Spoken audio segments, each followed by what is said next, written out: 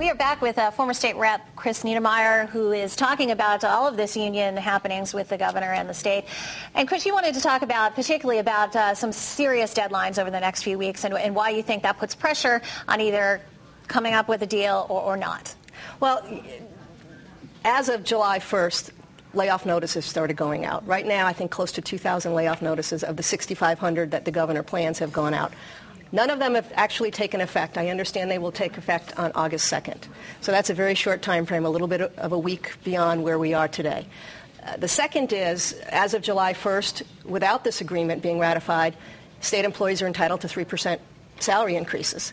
And uh, the good news, bad news, the good news is that that won't take effect. They will not be paid that until the 29th of July because there's a two-week lag in the payment. So for the first two weeks of July, from what I understand, their paychecks will come through on July 29th. So, but that's com- this coming Friday. So there's a very small window within which to. Then it becomes even more complicated. Then you've actually given money out, you've laid people off, and the other side effect of that is with, with the serious problems the state has, we have fewer employees now, people employed than we did in 1987 statewide, mm-hmm. private public sector. And you are taking the time of commissioners and managers in the state all to do and undo this situation, and, and, and they need to be spending their resources and their time on addressing state problems. Uh, you know, particularly about the pay raises, will that necessarily be undone? I mean, uh, first of all, I mean, hopefully if a deal came through, they could halt it, right, before the raises went out. I don't know what their pay cycle is. But, I mean, isn't it difficult to give people money and then say, well, we're going to take it back now? it, it is, and I understand uh, from some of the reports that, that what Mark Ojakian on behalf of the state is doing now is trying to negotiate with the union to the extent any of that money is paid out, where it will come back in so that it will be a wash. Because paying out $5 million every two weeks is, is what the 3% increase is from the state coffers only gets us deeper in the hole. Right, right. So, um, what happens if, do you think that there is a possibility that there won't be any deal?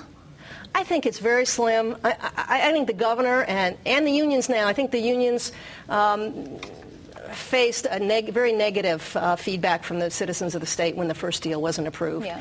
And I think they know that uh, for their future, there needs to be a deal. I mean, it, it, we have a 9.1% employment unemployment rate. If it goes higher with these layoffs, it's going to create even more problems in the rest of the state. And you know, if they can buy on to this deal or something close to it, I think that's the best for all parties. There are some people, I mean, and there might be skeptics who say that this was all a foregone conclusion, that this was all manipulation, that they had a deal and then the unions wanted to look strong, so they rejected it, and then the governor wanted to look strong, so he sent out the layoff notices, but but that actually this was where we were going to be all along? I mean, is that too? Um... Well, I think I think many people believe there was going to be a deal all mm-hmm. along. I do feel, and this is just a, something that I've picked up, but I, I can't verify it from all corners. But there's a certain uh, acrimony among a lot of the parties. Understandable when you're in this sort of situation, when the governor has, you know, a 3.5 billion dollar deficit breathing down his back, and and I think is the first governor in quite some time to try to honestly address it. Uh, some of the union folks I've talked to believe that the governor has been a little too forceful and arrogant with them. Mm-hmm. Um, some of the governor's people said you were offered a very sweet deal uh, uh, two or three months ago, and you should have been grateful for it, given all the people in the private sector that are going through the suffering they are. So th- th- when you have that, which is probably true in many union negotiations, I know when I oversaw the collective bargaining subcommittee, the contracts would come before our subcommittee, and you could tell in our first meetings with both sides that nobody was really happy most of the time. Yeah. But, but you just have to try to do your best to come up with an agreement that both sides can live with and that serves the, the state of Connecticut. Well, certainly when you were um, doing that, there was a completely different um, economic climate. But what was how different was it, um, even politically here in Connecticut, uh, when you were um, in the thrush of, of collective bargaining here? Well, it, it, was almost as if collective bargaining contracts were to be seen and not heard. Um, when I was offered the chairmanship of the committee, I was a fairly junior legislator, and I was so excited to be given this opportunity. Yeah. and then I found out that not too many legislators wanted to do it because it was fairly controversial, and they'd rather just have a small group deal with the review of it. And some of the contracts, many of them were not even voted on on the floor; they just went through automatically. Wow. So, um, but you know, that was before the income tax, and certainly right, before right. this recession and, and the economic stress that many people are under, and so you know, state employees have suffered as well as the taxpayers and others in the state. So I'm wondering, I mean, as you've been watching things going on in other states, I mean, certainly Connecticut's not the only state wrangling with the unions. I mean, eh, for instance, in Wisconsin, um, some people say that that was a long time coming. I mean, do you did you see that coming? And, and what do you think that the future uh, of collective bargaining is here in Connecticut? Well, I, I, think bashing unions doesn't really get you anywhere, no matter which side you're on. I mean, mm-hmm. I, am a moderate sort of uh, individual, and I'm not. I don't think I'm in one camp or the other.